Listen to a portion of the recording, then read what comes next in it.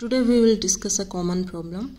You have changed your number and you received this SMS which says to confirm that you have changed number please reply yes to this number.